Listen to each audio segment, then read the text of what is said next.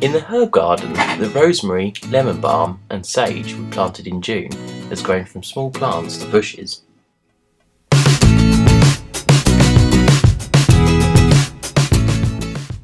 We use the rosemary in cooking roast vegetables and the lemon balm in teas.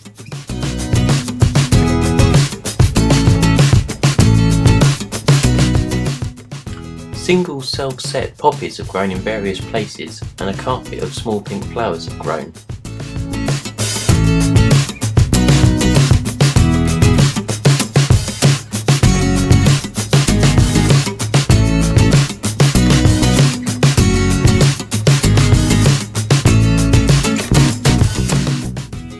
The lavender still has a strong scent, but the strong purple colour of June has faded.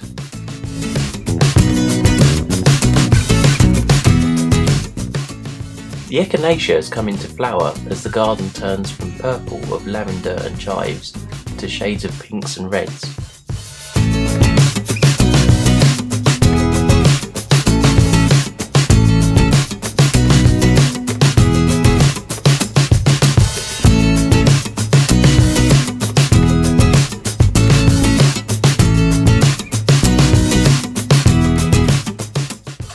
In the back garden, the strawberries are still giving tiny fruit and the rhubarb has had a second growth.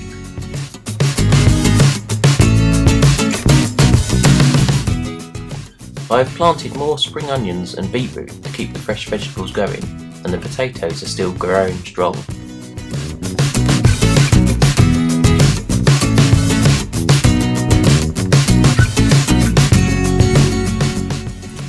We are overwhelmed by courgettes and we are cooking dinners, cakes and breads with them to eat as much as possible.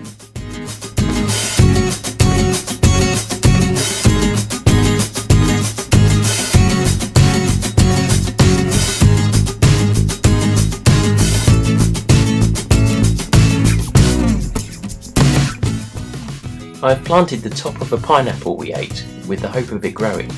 It is unlikely to bear fruit in the UK, but it's fun trying. Our grapevine has grown from a small pot plant to a vine 6 foot tall since we planted it at the start of the month. Both the pink and white hydrangea bushes are now in full bloom. We are making full use of the flower heads for table decorations around the house.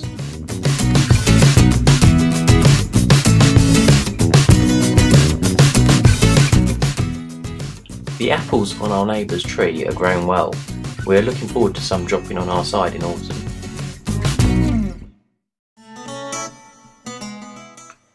Thank you for watching. Please comment below